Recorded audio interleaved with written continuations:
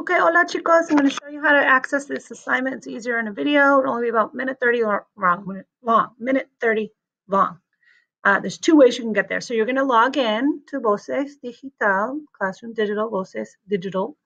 To log in, you'll only have one choice. So you'll log into the level two book.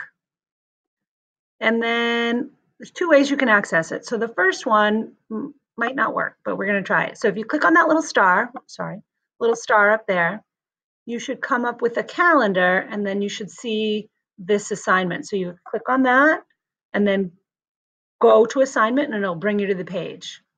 Another way that you can get here to this page is if you, so if it doesn't work on the star for some reason, the calendar, sometimes if you refresh the calendar will work. So if you go over here, you click on those little dots and then you're gonna have introducción and just click on idiota, the one that just is hashtag idiota.